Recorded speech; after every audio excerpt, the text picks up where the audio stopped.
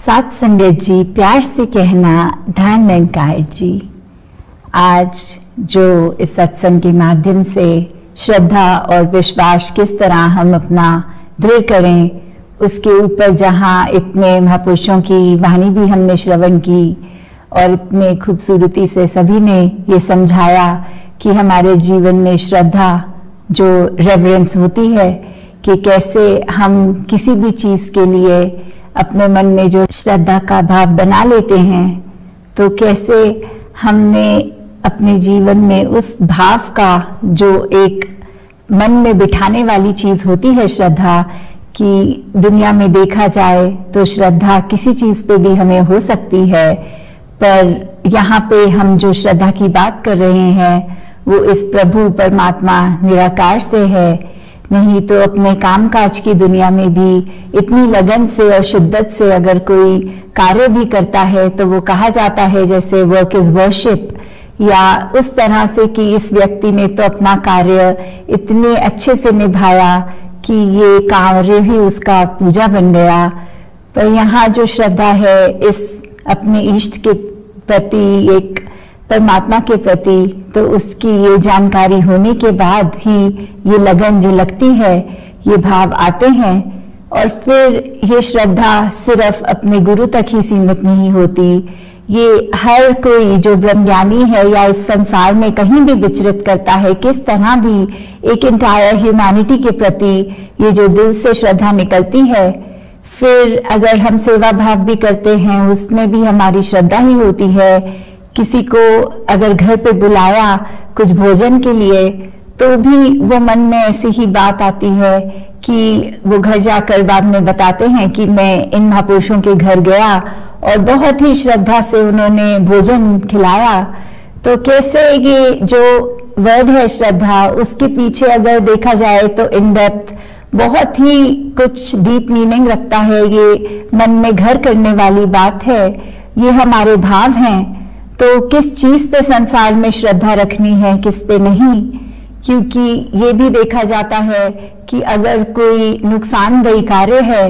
तो भी कुछ प्रवृत्ति के होते हैं जो लोग, वो फिर उसके लिए भी इतनी दृढ़ हो जाते हैं कि इतनी अपनी निष्ठा से लगे रहते हैं कि हम रात की नींद भी त्याग देंगे, पर कुछ ऐसा सोचें, ऐसा करें, ऐसा लिखें कि किसी का इससे नुकसान हो।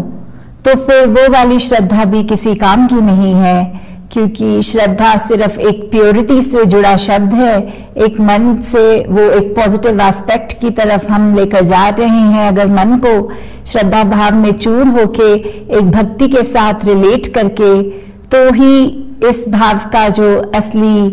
एक एसेंस हम ले सकते हैं। और जहाँ श्रद्धा की बात आती है, वहाँ विश्वास की भी बात आती है। जैसे ध्वनि में भी हम अक्सर विचार के बाद जो श्रवण करते हैं, मेरा डोले ना इतबार, बख्शो श्रद्धा, भक्ति, प्यार, कि कैसे ये इतबार, ये फेथ ये विश्वास और श्रद्धा, भक्ति, प्यार से कैसे हम अरदास जो मांग रहे हैं कि प्रभु परमात्मा हमारे जीवन में जहाँ श्रद्धा भी और हमारा भाव एक पक्का करें और साथ ही ये विश्वास का भी पक्का होना उतना ही ज़रूरी कि ये उस चिड़िया के दोनों पंख हैं। जब श्रद्धा मन में है तो ही उस भाव से अपने विश्वास को दृढ़ करते हुए हम भक्ति को पूर्ण कर सकते हैं। तो जहाँ विश्वास की बात है, वो हम देखें तो विश्वास हमारे कितने एस्पेक्ट्स में जीवन में होता है। चाहे हम एक अपनी बात करें कि एक नॉर्मल बात की अगर कोई इंटरव्यू के लिए भी कोई जा रहा है तो कैसे इंटरव्यूअर उसको एक कॉन्फिडेंस फैक्टर पे चेक करता है और बाद में शायद फीडबैक पे बोलता है कि I like your self confidence तो कैसे वो एक विश्वास, जो आत्मविश्वास है, पहले हमारा अपने ऊपर और कैसे फिर वो अगर हम और ज़्यादा डेप्थ में जाएँ तो हमारा आत्मविश्वास तो हम क्या हैं? हम शरीर तो नहीं हैं, हम आत्मा हैं तो कैसे ये जब आत्मा और परमात्मा का मेल हुआ तो फिर ये एक विश्वास इस परमात्मा पे और वहीं से ही जैसे माता Savinder ji always use to use the phrase confidence कि कैसे ये कॉन्फिडेंस होना इस परमात्मा पे पूरा कॉन्फिडेंस ये पूरा विश्वास कि कैसे इसी की लगन में रहना, इसकी हर बात को इस तरह मन में बिठा लेना कि इससे ऊपर कुछ है नहीं। तो ये जब विश्वास हो जाता है, फिर वो कुछ क्रॉस चेक करने का भी स्कोप नहीं बचता कि जैसे अगर उदाहरण लिया जाए कि पानी में तो 100 डिग्री पे उबलना ही है the water boils at 100 degrees तो अगर हम उसको चेक भी करें थर्मोमीटर से उस उबलते पानी का टेम्परेचर उस समय तो 100 डिग्री ही होगा। पर ये बात अगर हमारी कोई टीचर हमें कह भी दे तो भी कुछ स्टूडेंट्स तो उसके होते हैं जो घर जाके चेक भी करेंगे कि टीचर ने फैक्ट सही बताया कि नहीं और कुछ नहीं। तो फिर कैसे ये परमात्मा अगर इस तरह देखें कि हमेशा है तो क्या हम परखें वो चीज़ हम किस तरह विश्वास के तराजू में कहाँ रहें फिर कि अगर परमात्मा के द्वारा कोई स्थिति हमें जो मिली है, उसमें भी हम सोच विचार करें और पूर्ण विश्वास ना रखें कि ये हमारे भले के लिए है। तो फिर जैसे नैया की भी बात आती है कि एक अगर विश्वास का चप्पू और नैया हमारे जीवन की तो विश्वास का चप्पू है तो नैया ने पार होना ही है, क्योंकि फिर वो विश्वास हमको सही डायरेक्शन में भी लेके जाता है। हमको हमारे छोर अपने किनारे तक भी लेके जाता है। तो भक्त ने तो अपने जीवन में और दुनियावी माया का असर नहीं लेना किसी के कुछ भी बोलने का वो मन पे एक बात नहीं बिठा लेनी, क्योंकि विश्वास ऐसा है और स्थितियाँ जो भी आए तो फिर दुनिया में तो कुछ भी कह देते हैं कि देखिए, आप तो यहाँ आस्था रखते हैं तो भी आपके जीवन में ऐसे घटना घट गई। पर भक्त को पता है कि यदि ये घटना घटी भी तो ये किस तरह मेरा विश्वास है कि दातार ने गलत नहीं किया इस घटना में भी। तो कैसे हम दुनिया की बातों का असर मन पे ना लें और अपने विश्वास को कम ना होने दें? और किस तरह हम जब संसार में हैं तो अपने मन में एक आनंद की अवस्था, ये कायम तभी रख सकते हैं जब एक विश्वास हमारा इतना दृढ़ है कि चाहे कुछ भी हो जाए, हमारे मन का ये जो डगमगाहट है, वो नहीं मन में आएगी और एकदम स्थिर निरंकार प्रभु से जुड़कर हमारा मन भी स्थिर है और इसी के अंदर ये पूरा विश्वास टिका है। तो कैसे भक्ति में ये विश्वास का होना बहुत ही ज़रूरी है, क्योंकि बिना विश्वास तो ये भक्ति फिर पूर्ण नहीं हो पाएगी। ये बहुत ही महत्वपूर्ण अंग विश्वास है इस जीवन में हर चीज़ पे, चाहे अगर हम और रिलेशनशिप्स में भी देखें कि कैसे अगर चाहे पर्सनल परिवार का रिलेशनशिप हो या बिज़नेस का हो तो बिज़नेस में भी अगर एक व्यापारी दूसरे से एक सौदा करके जब पेमेंट की बात आए तो अगर पैसे पूरे ना मिलें तो आगे से वो लॉन्ग टर्म बिज़नेस रिलेशनशिप नहीं बन पाता। क्योंकि फिर अगली बार तो या वो व्यक्ति कहेगा कि पहले पैसे दीजिए और फिर सामग्री हमसे लीजिए, या फिर वो बिल्कुल कट कर देगा, आगे से कोई नाता ही नहीं रखना चाहेगा।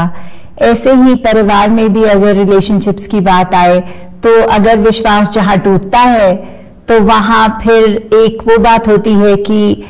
अपनापन जो होता है, उसमें एक दरार का आना। तो कैसे एक विश्वास उस एस्पेक्ट में भी है, एक रिलेशनशिप्स की जाए बात हो, या दिन में कुछ भी हम ऐसा कर रहे हैं।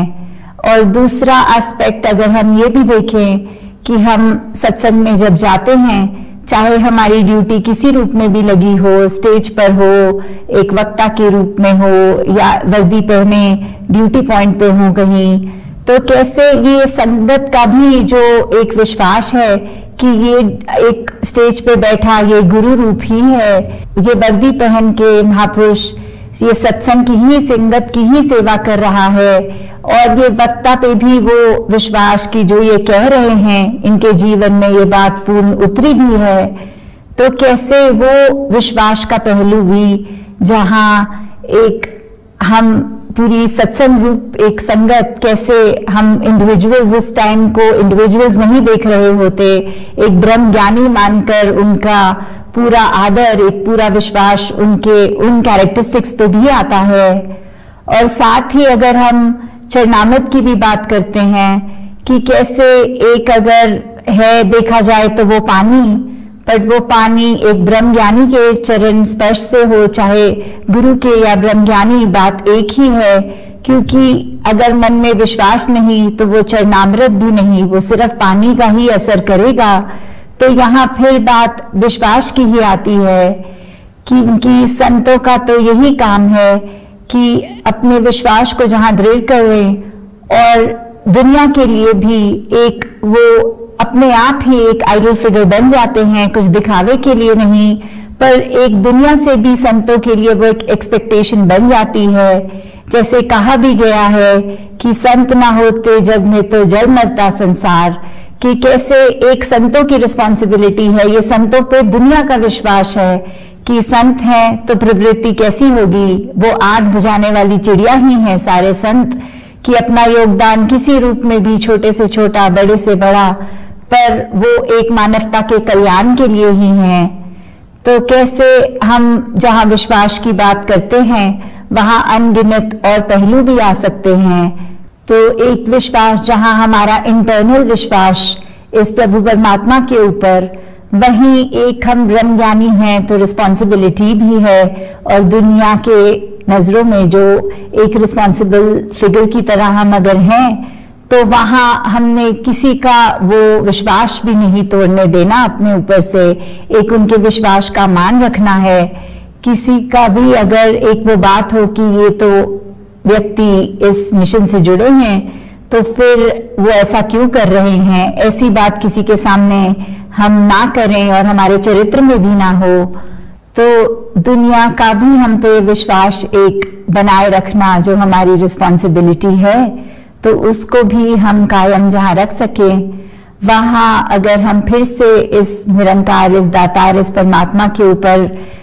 एक विश्वास की बात जहाँ करें तो ये परमात्मा तो कायम वायम है, ये तो किसी प्रूफ का मोहताज नहीं है। तो हमें इस पे विश्वास रखना, ये हमारे लिए एक बेनिफिट है, ना कि निरंकार के लिए, क्योंकि निरंकार को इस बात से कोई असर नहीं होगा। तो जो भला होना है, जो फ़ायदा होना है, वो हमारा ही है, क्योंकि हमारे नाम मानने से, विश्वास ना करने से भी कुछ इसमें चेंज नहीं आएगा। पर हम अगर विश्वास कर लेते हैं तो हमारे अंदर वो दृढ़ता, एक पॉजिटिविटी एक हमारी स्मूथनेस एक फ्लो वाली बात आनी।